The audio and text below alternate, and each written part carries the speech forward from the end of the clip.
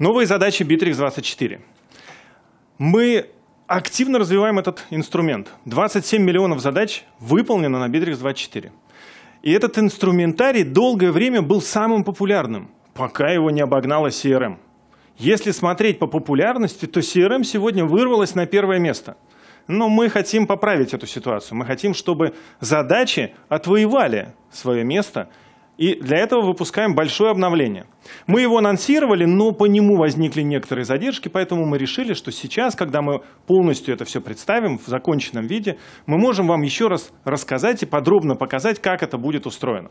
Приступая к обновлению этого функционала, мы исходили из двух постулатов, что есть два типа пользователей, которые работают с задачами. Это обычные пользователи, которые ставят задачи сами на себя, ставят задачи на каких-то подчиненных, и есть профессиональные пользователи, которые используют большой спектр возможностей внутри задач. И мы решили разделить эти интерфейсы в рамках одного, одного типа задач. Тут вопрос даже не в том, что разделить. Внутри одной организации живут и эксперты, с высочайшими требованиями к задаче, и обычные люди, для которых сложная форма выглядит фантастически пугающей. И если сделать удовлетворенность ну, как бы одной группы, то мы не сможем обеспечить нормальную работу второй. Это самая важная задача, которую нужно было реализовать. Мы выпускаем задачи, которые позволяют решить потребности обоих групп. Э, первоначально создаем задачу прямо в списке, либо сами себе, либо тем, кто будет с этим работать. Мы создали задачу, указали ответственно, задача создана. Также мы можем создать задачу из нового интерфейса.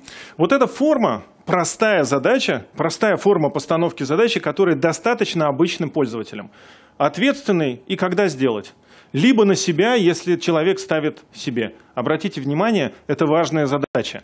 Мы упрощаем систему э, рейтингов важности задач. У нас обычные и есть теперь просто важные задачи. Все, на самом деле этого достаточно, чтобы задача появилась. И этот сценарий очень легко подходит обычным пользователям. Не нужно деталей, не нужно сложностей, все всегда под рукой. Таким же простым методом вы можете использовать и более экспертный режим. Перейти в экспертный режим из обычного интерфейса. Все подготовили саму задачу. Из Начинаем ее... можно будет вставить картинки прямо в саму тело задачи. Да, эта часть доработана. По задаче стало с этим удобней. Ответственные постановщики, наблюдатели, соисполнители. Одного клика достаточно, чтобы настроить и выбрать. Соисполнители, крайние сроки, планирование сроков, регулярные задачи, контроль задач – масса других элементов, которые нужны экспертам, которые задачами пользуются. В том числе целый блок про дополнительно. Проект, учет рабочего времени, напоминания. На самом деле всего не перечислишь. Но в рамках подготовки этой задачи человек, выбирая те или иные настройки, отмечает для себя иголкой те параметры, которые для него важны. Вот, собственно, однажды отметив, например, я пользуюсь проектами – я закрепляю это в своей простой форме. Я пользуюсь, например, соисполнителями чаще всего. Таким образом, каждый человек может настроить под себя задачи и сделать их удобными уже для экспертного для экспертной работы. Причем эксперты, они же тоже разные. Кто-то в проектных группах работает, кто-то работает в рамках компании. Таким образом, новый инструментарий, новый интерфейс, простой, удобный и соответствующий двум группам, для которых он создан. Ну и не буду сейчас перечислять, очень много деталей, мелочей, на которые мы обращали внимание, с уведомлениями, уведомления, которые можно ставить любому участнику задачи, по-моему, даже не, за, не только участникам. Появился экспертный режим. Экспертный режим в задачах – это когда у вас очень много объема задач, которые попадают в вашу живую ленту. В определенный момент времени вам предложат убрать эти задачи из живой ленты, чтобы она не, не замусоривала ваш, ваше очень, общение. Очень яркий пример. Веб-студия у некоторых сотрудников внутри компании живая лента заполнялась задачами так, что работать с живой лентой становилось сложно. И мы сделали автоматику, которая смотрит, если больше 30% сообщений живой ленты являются задачами, она автоматически переключит вас в экспертный режим. С задачами вы будете продолжать работать в задачах, а живая лента продолжит работу э, как обычная живая лента, чтобы вы могли продолжить коммуникации, не терять важные сообщения, которые происходят в группе. Система подскажет, где спрятана эта настройка. Если вам не понравится этот экспертный режим, вы сможете его отключить. Очень простой, очень действенный вариант. Мы обязательно завершим задачи вместе с e-mail. Мы анонсировали в прошлый раз, не будем сейчас детально на этом останавливаться. То есть возможность работать с задачами и ставить задачи пользователям, которые находятся на электронной почте, либо работают в других Bittrex 24.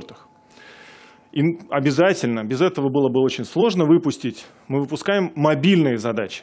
Интерфейс мобильных задач был полностью переделан. К вам приходит пуш-уведомление. Это очень давно ждали. Вы переходите в задачу. Появился чек-лист, и вы можете работать полностью с чек-листом в рамках задач. Можете отмечать необходимые выполненные действия. Можно добавлять файлы к задачам, выбирать наблюдателей соисполнителей, комментировать задачи. Один из вариантов, как, которым используют задачи на мобильных устройствах, это создание регулярных задач с чек-листом. Как, например, один из наших клиентов создает чек-лист про проверки э, работоспособности ресторана.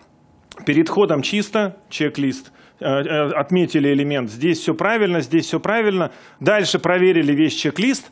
На следующий день задача восстанавливается, устанавливается ответственный сотрудник, и дальше с ней работает уже ответственный человек.